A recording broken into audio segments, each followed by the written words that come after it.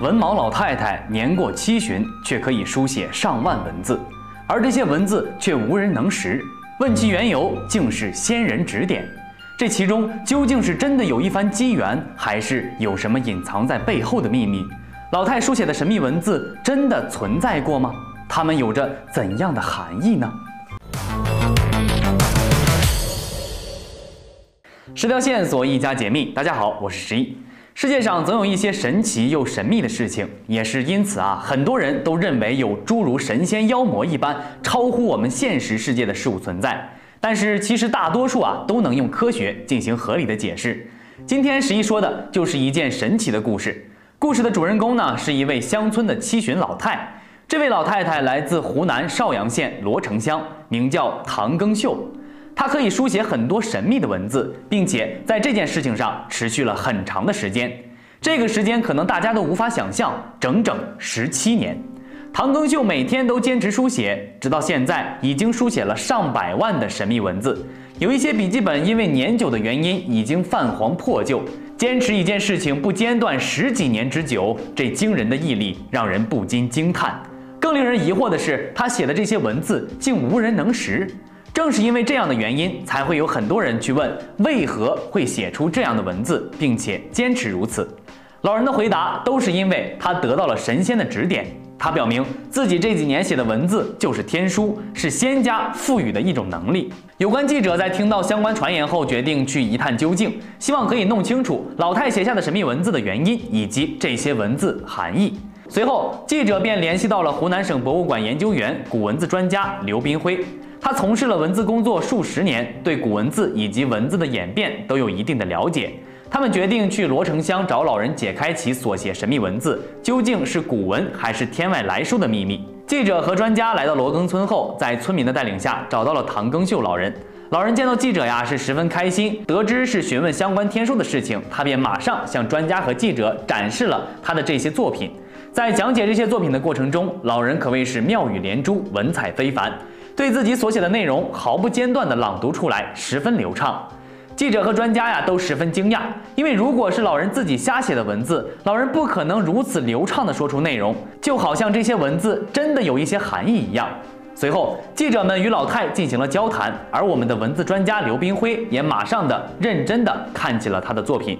他一遍又一遍地翻读，仍然没有看懂一个文字。难道这些文字真的是像传闻一样的天书，或者是外来生物的文字？如果真是如此，没有一个人能看懂也是十分正常的。但是这不禁让大家疑惑：老人究竟是如何学会这些文字的呢？毕竟老人一开始并不识字，也没有什么机会接触和学习。于是记者和专家就着这些疑惑和老人进行了深入的交流。据老人说，自己也不清楚是什么时候就学会了这些文字了。大概是在九十年代初期，老人挑着担子去卖豆腐，途中看到了一道特别亮的光，十分刺眼。这道光呢，随即就向他飘了过来。老人想逃走，但是却被这道光挡住了去路。光里啊，隐约可以看到三个人。三个人说呢，要给他一个宝贝，但是叮嘱他回家之后三天内不能说话。之后啊，光便散去。回到家后，唐庚秀三天没有说话，也没有进食。三天过后，他就开始写这些所谓的天书了。九十年代初是较为贫困的年代，家里有纸和笔的都很少，一般给家里的孩子用来读书上学了。即使是这样，老人呢也坚持书写。他用树杈在土地上、石头上进行书写，每日不断。后来啊，家里的条件慢慢好起来，就开始用本子和笔进行书写。不论是去地里干活，还是在家里休息，他都会将自己的本子随身带着。一空闲下来，他就会写一写，读一读。到了晚上更有规律，每天写到晚上十二点，而凌晨三四点钟他又会起床继续写。每日如果不写上七八个小时，他就会很难受。直到今天呢，已经足足写了上百本，文字数量更是达到了上百万。除了有规律的坚持书写，老人这十七年来没有任何其他的爱好。老人所写的作品的内容呢，也都是他的一些所感所想。也有一些歌颂时代的东西，但是随后记者呢了解到了一件更为匪夷所思的事情：老人每次带着自己的作品去干活，空闲时写一写，就会让老人干劲十足，不觉疲累。相反，如果老人停止书写，就会浑身难受，甚至会生病，心情呢也十分不畅。老人认为这是天神对他不坚持书写的惩罚，也是天神赋予他的一种责任。综上种种，连记者都在怀疑：难道老人写的真的是天书吗？但是刘斌辉专家在与老人的谈话中发现了一些端倪。虽然他还是看不懂老人写的文字，但是他看到了老人的文字似乎有着一些古文字演变的痕迹和规律。古代文字演变至今，有的文字加了笔画，有的则减了笔画。就像我们所使用的汉字，就是从繁体字逐渐变化而来。于是啊，专家猜想，老人是不是用了增减笔画的规律来进行书写和记忆呢？但是现实是否定的，因为唐庚秀从未上过学，所以对我们的汉字可谓是一字不通，自然呀也就无法学到增减笔画的方法。这使得众人再度陷入到了谜团之中。但是有一个奇怪的现象，老人在读自己的作品的时候会掩面痛哭，那是什么原因使老人毫无征兆的哭了起来了呢？点赞关注支持十一，我们继续往下看。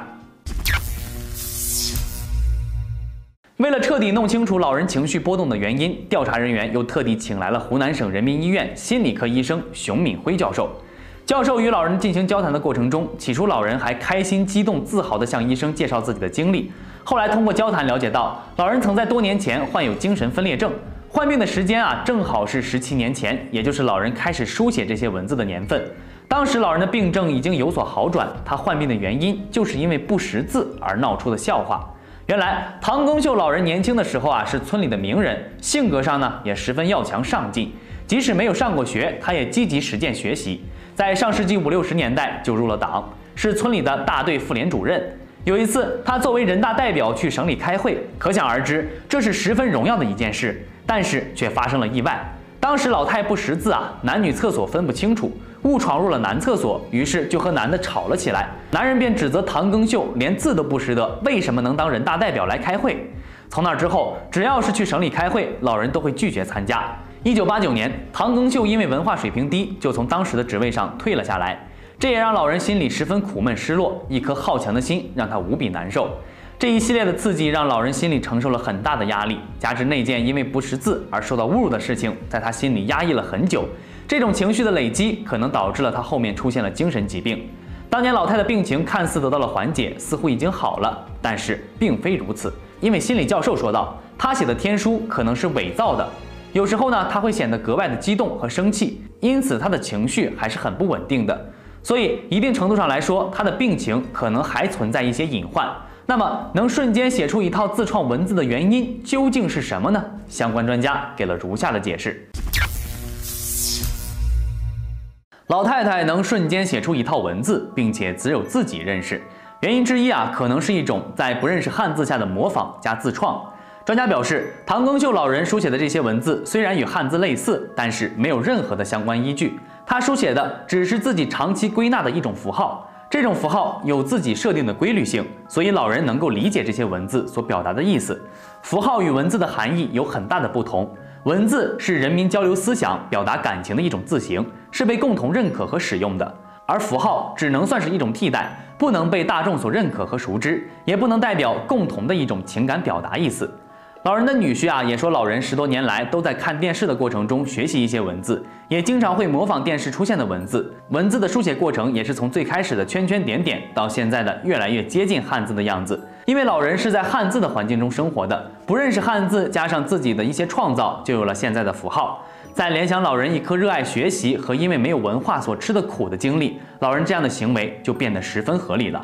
原因之二可以归结为，因为老太年轻因为文字受过一些侮辱。而后又因为文化不足丢掉了岗位。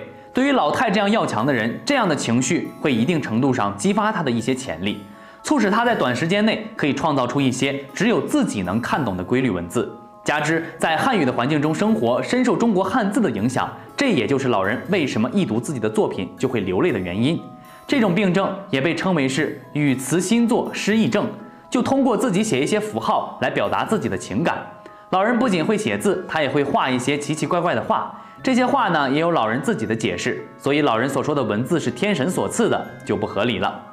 这个神奇事件背后的秘密也就这样被揭开了。其实老人也是吃了没有文化的亏，自己有骄傲和理想，但是苦于自己没有文化，无法实现心中郁结。这是唐庚秀的可悲，也是当时那个时代的人的可悲。